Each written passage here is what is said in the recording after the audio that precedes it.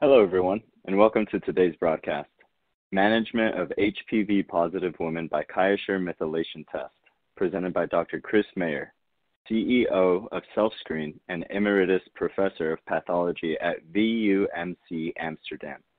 I'm Xavier Gutierrez of LabRoots, and I will be your moderator for today's event. We are delighted to bring you this educational web seminar presented by LabRoots and sponsored by QIAGEN. For more information about our sponsor, please visit www.qiagen.com. Now, before we begin, I would like to remind everyone that this event is interactive.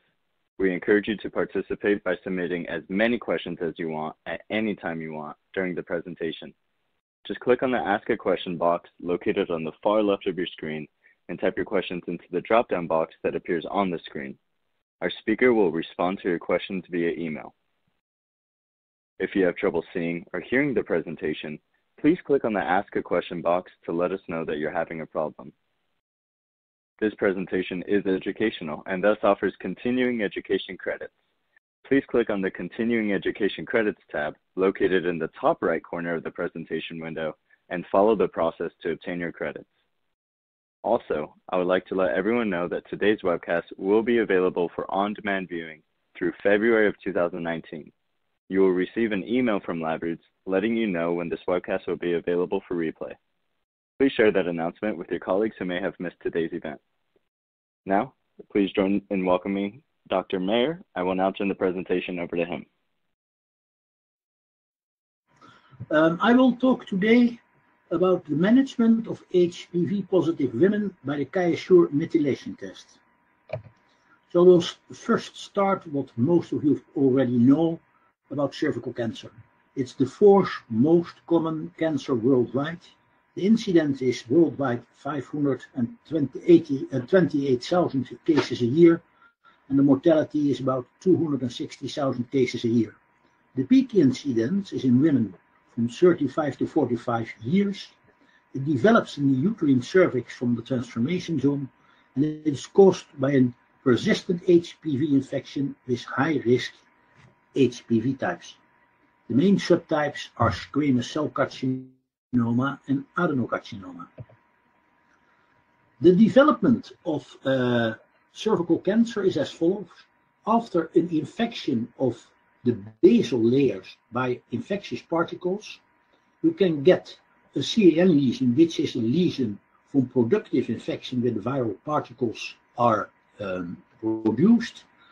And you can also further to CIN2 and CIN3 lesions, which are the most serious advanced lesions, which finally turn over to cancer. From an HPV infection to get uh, to get uh, CIN3 lesions, it can take one to three years, and it lasts quite some time, 10 to 20 years, before you get from a CIN3 lesion finally cervical cancer. Cervical cancer can be prevented, as you know, by the treatment of CIN2-3 lesions. The aim of cervical cancer screening is to detect and treat CIN2 and CIN3 lesions to prevent cervical cancer. And the overall prevalence of CIN2, CIN3 in the screening population varies dependent on the areas from 1 to 5%. The treatment of premalignant lesions, the CIN2 and CIN3 lesions, is done by ablative therapy. It can be by large loop excision of the transformation zone, LETZ, cryotherapy or conization. This ablative therapy comes with cervical morbidity, such as cervical insufficiency, stillbirth, difficulty in becoming pregnant. So these are really problems and then cervical mobility especially affects women in childbearing age. Many CIN lesions spontaneously regress due to the HPV clearance by the immune system. So without HPV, no CIN lesions. And clearance of the HPV infection uh, indicates also clearance of the uh, CIN lesion. The regression rate is high at childbearing age, so at young age. the reproducibility, and that's the point, the reproducibility and classification of CIN lesions by pathologists is moderately good, about 70%. Some people even say it is lower. The pathologist cannot well differentiate between lesions that will regress and those that will progress. And because of these difficulties, all high-grade CIN lesions, which are CIN2 and CIN3 lesions, are treated. So there is a lot of overtreatment, especially in women in childbearing age. And I already told you that the problems there is cervical morbidity. So there is a need for molecular markers to distinguish women with CIN lesions with a high progression risk to cervical cancer from those with a low progression risk because you don't need to treat them. And we think that the solution of that is the QIAsure methylation test. First, I would bring you more in the concept of CIN lesions. The CIN2, CIN3 lesions, which are at the moment by most uh, people, especially also in the USA, treated, are uh, very heterogeneous. And I told you the pathologist cannot differentiate which lesion can progress and which can regress. And to explain this heterogeneity, we characterize the lesions by chromosomal aberrations, copy number alterations, or the methylation levels of the tumor suppressor genes, or HPV E4 immunohistochemical staining. And how did we do that? We took from the population-based screening study Amsterdam, the POBASCAM study, which have a screening around every five years. We took first women who had in the first screening round normal cytology and were HPV negative. And then after the second screening round, they were HPV positive and a CIN2-3 lesions. And we call those lesions incident early lesions, which has an, uh, an, an, an uh, which are uh, associated with an HPV infection less than five years. Then we had lesions which were, when, then we have lesions that in the first round, the women had normal cytology were HPV positive. They were followed up, and after five years, they had a CIN2-3 lesion, which were, was of course HPV positive, and these lesions were associated with an HPV infection longer than five years. So these lesions of group 1 were early transforming CIN, and the other lesions, which are associated with an, with an HPV infection, longer than five years, we call them advanced transforming CIN. Now, if you look to the early CIN lesions and you look to the advanced CIN lesions in cervical cancer, and you look then by uh, array CGH, you look to copy number alterations, then what you see is that most early CIN2 lesions with a short duration of the preceding HPV infection, less than five years, as I showed you before, hardly had copy number aberrations. And this is in cluster 1. If you look to the cluster 2, the advanced CIN lesions, which you see here marked in orange, and the cancers, then what you really see is that in those, the advanced lesions, many copy number aberrations are present, and that overlap with the copy number aberrations present in cancer. So advanced CIN lesions have a cancer-like copy number aberrations pattern. Then I have to tell you something about the methylation. Promoter hypermethylation of tumor suppressor genes is a common event in cancer development to silence the genes. And what happens is that the cytosines at the uh, uh, CPG nucleotides at the 5 accent position are the targets for methylation. By DNA methyltransferase, they, you get a methyl group on the 5 accent place, and then we call this methylated. Now, normally, the tumor suppressor genes are not methylated, and because they are not methylated, that's the promoter region of the tumor suppressor gene, you get gene expression, and the product of the tumor suppressor genes is still present to, present, to prevent cancer. But in cancer, you see that the uh, that the uh, promoter regions of the tumor suppressor genes are methylated, and because they are methylated, the gene is uh, the gene expression is repressed and you don't have expression of the tumor suppressor genes. Now, this phenomenon is present in many cancers, and the promoter uh, methylation of several genes, CADM1, MAL, HSA miR 124 2, and FAM19A4, these genes are in functionally involved in cervical, carcino, in cervical uh, carcinogenesis, and these genes are, are methylated. And methylation levels of these genes increase with disease progression. Now, to show the QIAsure methylation test, we uh, measured the promoter here hypermethylation of two of the genes I showed you before, the FAM19A4 and HSA miR 124/2. The method is a quantitative multiplex methylation specific PCR. The platform is the Rotor-Gene, G, the Rotor-Gene Q with assay manager profile. The test duration is about 90, 90 minutes, one and a half hour. It's an automated data analysis and it is an objective readout. I will not go into details here more because this requires more detailed uh, analysis to, uh, to tell you. The advanced CIN lesions, which we find in the early lesions, if you compare these for the methylation of FAM19A4 or the miR1242, then you, what you clearly see is that there is increased methylation levels in the advanced lesions, both from FAM-A4 and the miR1242. To show you that this is not a phenomenon which is rare, I show you here the following.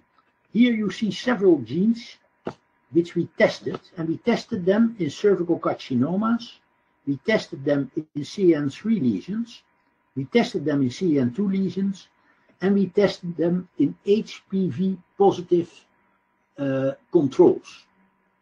And what you see is when you have this, uh, this here, this white uh, bulk here, what you actually see is that's unmethylated. If you look here in the CIN2 lesions, here you see half of them is unmethylated and half of them is more or less methylated.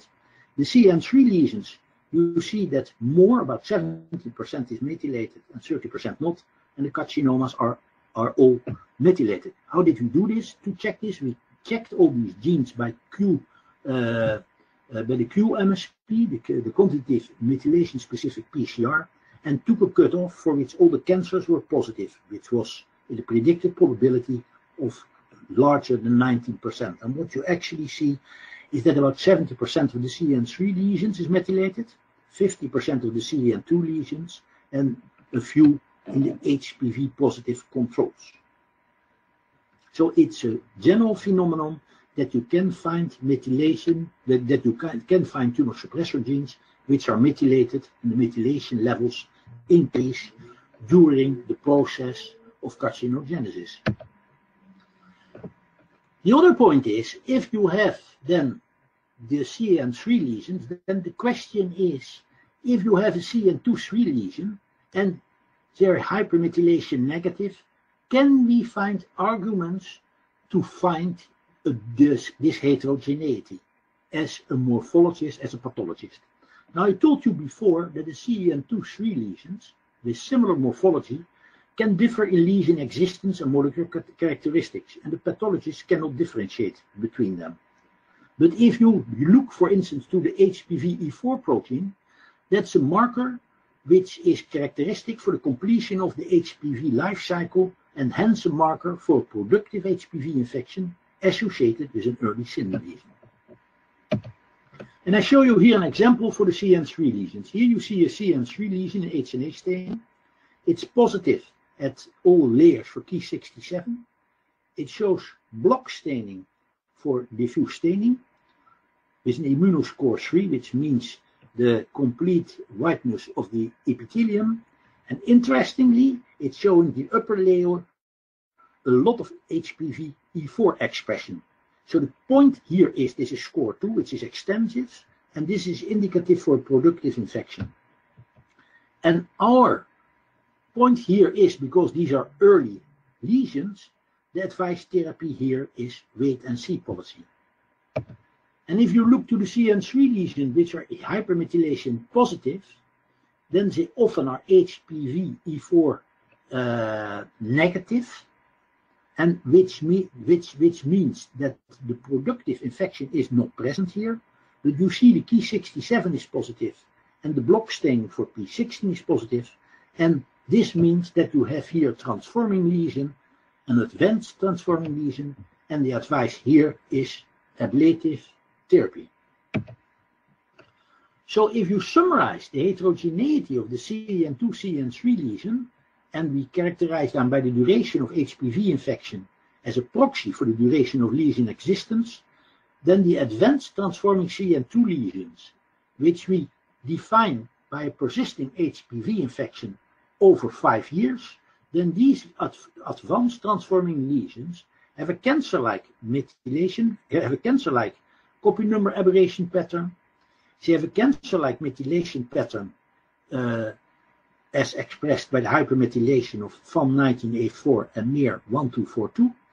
And there are no signs of a productive viral uh, life cycle, uh, life cycle. So are HPV negative. So what you can see here, early lesions, less than five-year HPV infection, early transforming CN23, they have a low expression, uh, they have a low short-term progression risk to cervical cancer. In contrast to what we see, the, uh, the, the lesions advanced transforming CN23, which have a cancer-like methylation pattern, as I showed you here before, and they have a high short-term progression risk. So it's important to differentiate, make the differentiation here. Then I show you here, and this is uh, from a study from De Strooper et al. in cancer prevention research. We looked uh, in uh, we, we looked in uh, women who had advanced lesions, women who have cervical cancer, and we looked women who have early CIN lesions, and we looked by cytology, and we looked by methylation from the FAM19A4 gene. Now, first, what we see in these cases, there were 100% positive FAM19A4, but not all the cases were detected by cytology. In the advanced lesions, similar, similarly, all the advanced lesions, as defined by an HPV infection, larger, longer lasting than five years, you find them all positive. Also, here the cytology was not all positive.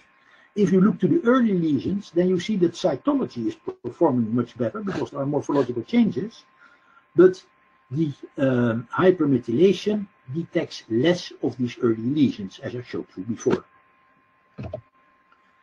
That scheme, which I showed you before just a minute ago, and which is pointed out here, we worked out in a conceptual scheme, and this scheme is depicted on the right side and what you actually see here is the blue line, which we showed you before, is the, is the methylation going from early CIN2 lesion, 2-3 lesions, to advanced CIN2-3 lesion, to cervical cancer. And what you actually see is they detect every everything, and you see they, they detect all the advanced lesions.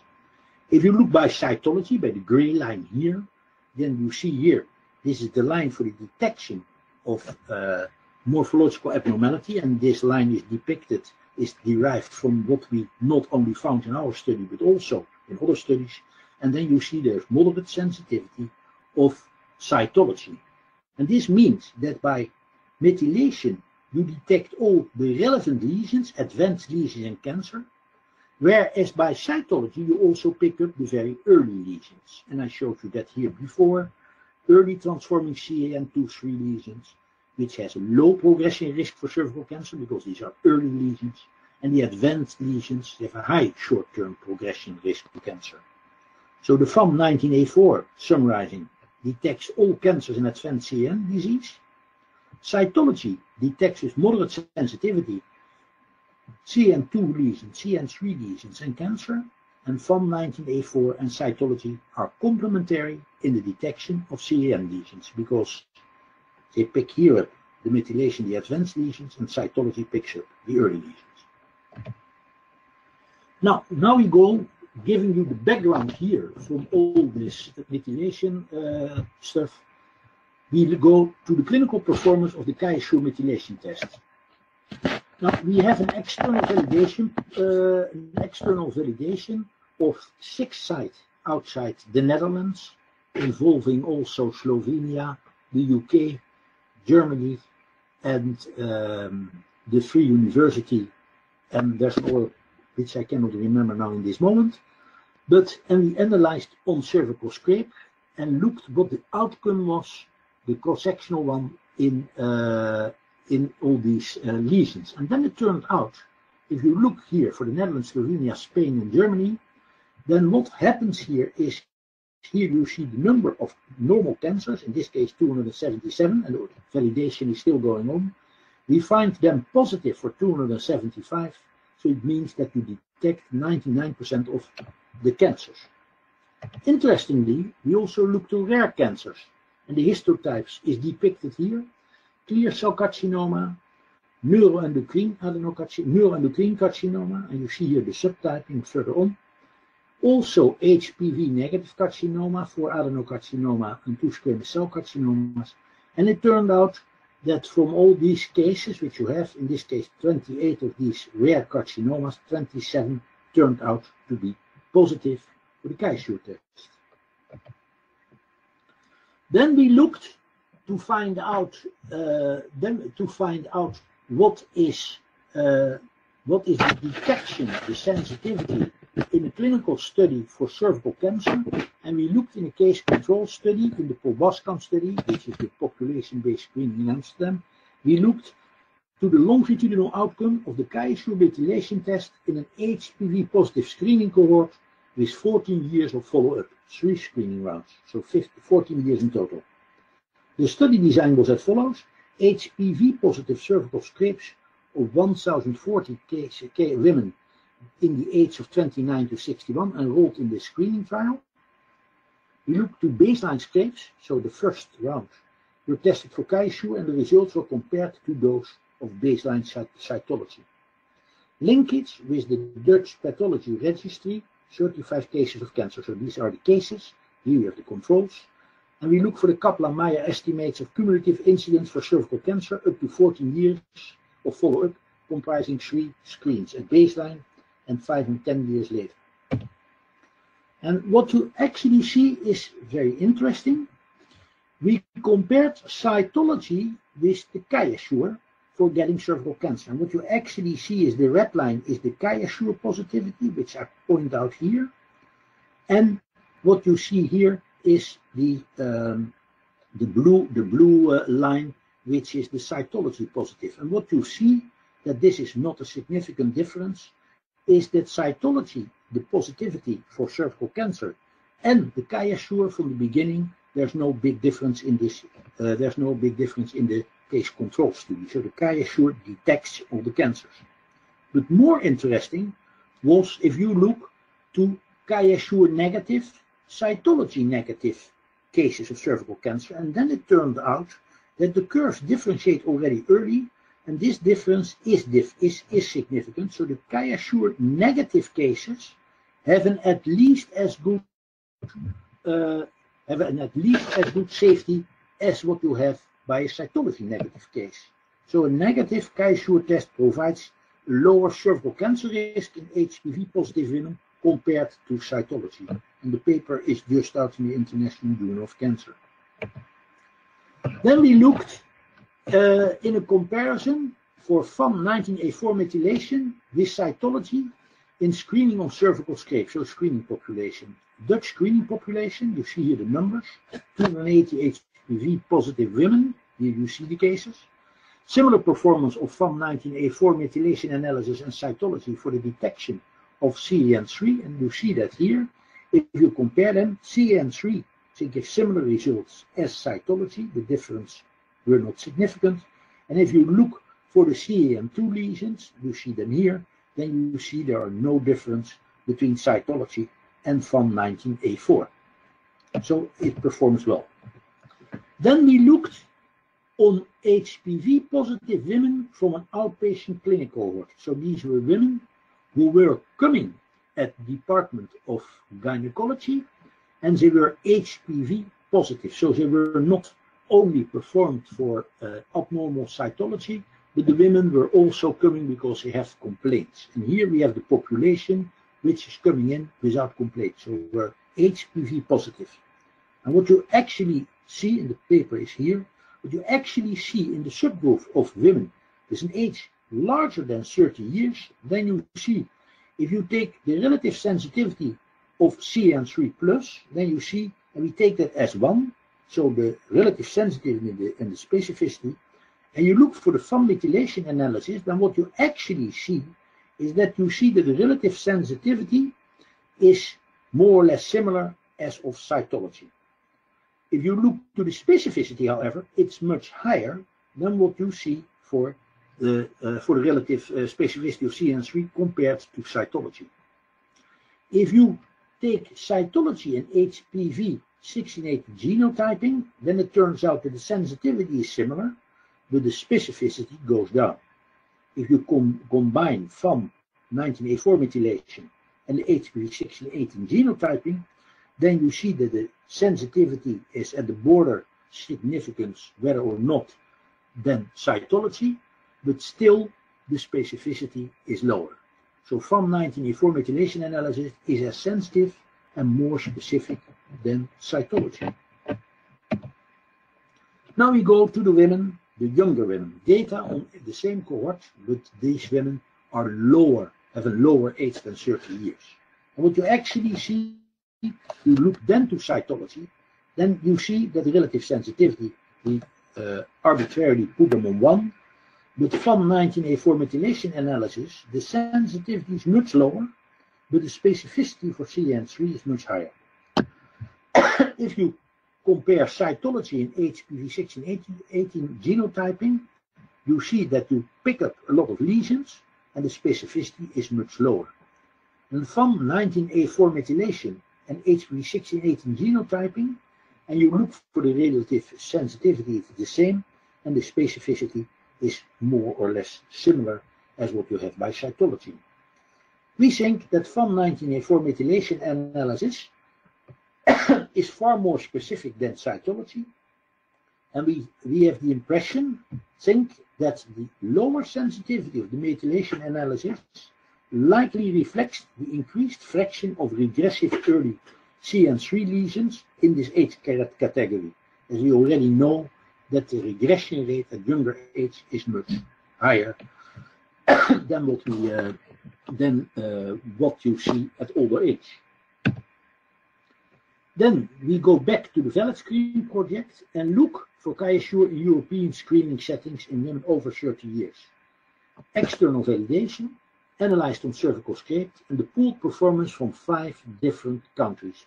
Denmark, Slovenia, Germany, Scotland, and uh, the Netherlands. And what you actually see that if you look for the squamous cell carcinomas and the adenocarcinomas, there is one negative. From the uh, CIN3 lesions, more than 75%, 75% is positive.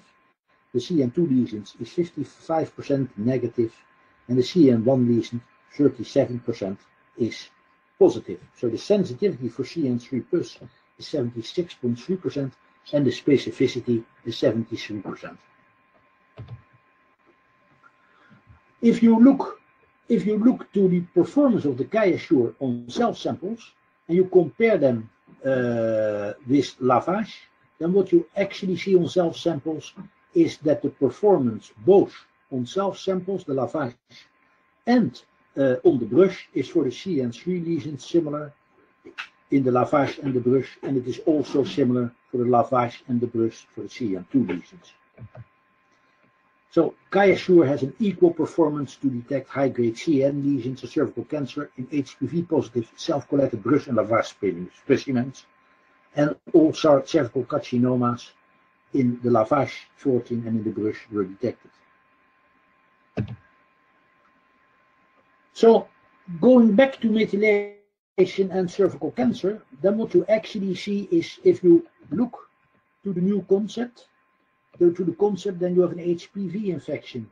And in the HPV infection, you can have a productive CIN lesion, which is going to transform CIN lesion and going to cancer.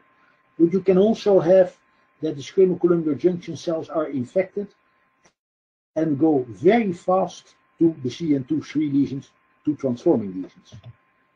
Now, what are we doing now with cervical screening, cervical cancer screening? In the Netherlands, this is 30 to 65.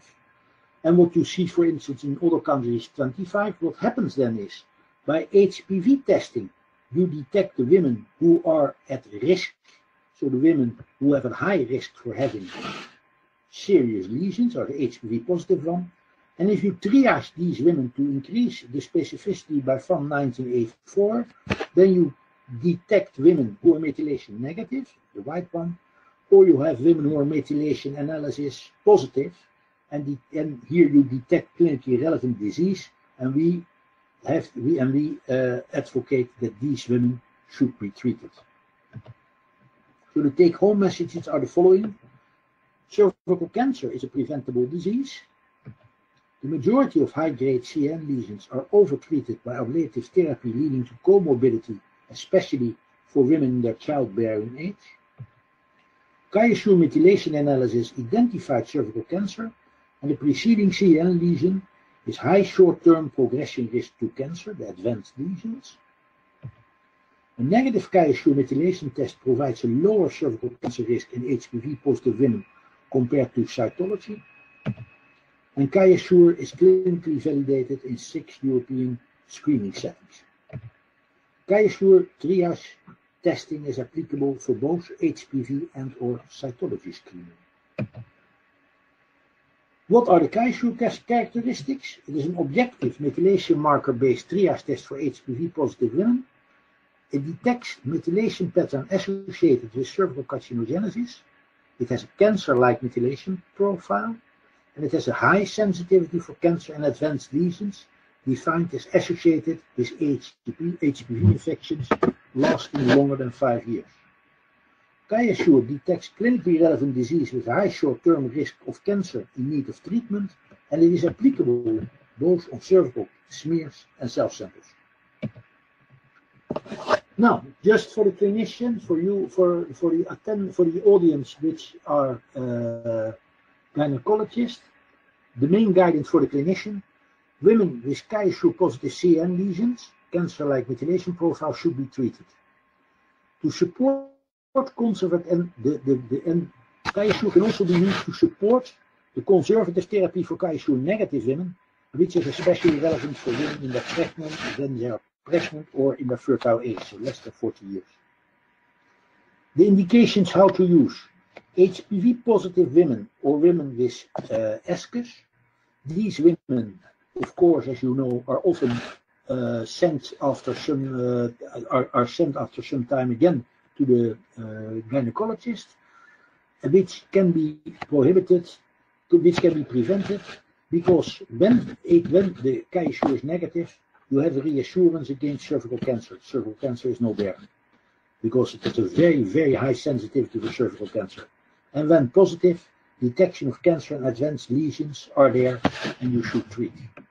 And how to handle these women with a QIAsure negative test, these women have at least the same long-term reassurance against cancer as cytology, as I showed you before in the case control study, and the control after 12 to 18 months, so a year one and a half year.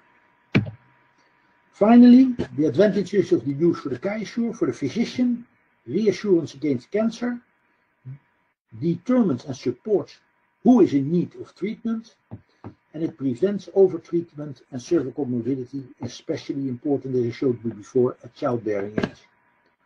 For the patient, prevention of overtreatment and cervical mobility, and important for pregnant women and women in their childbearing age. And for the insurance company, high cost effective by preventing unnecessary LEDs and conization and reimbursement via molecular diagnostic route. This concludes my presentation, and I have to acknowledge all the people who are mentioned here, especially the Department of Pathology at the VU University, and also the Department of Epidemiology and Biostatistics at VU University, the Department of Pathology in Copenhagen, uh, the Scottish uh, people, the University of Ljubljana, the Department of Gynecology Obstetrics in Germany, Wolfsburg, the University of Barcelona, the Faculty of Medicine, which is also in a prospective study involved, which I did not show you yet because it is not finalized, the Catalan Institute of Oncology, and DDL Diagnostic Laboratory Rijswijk, further QIAGEN and scheme. Thank you very much.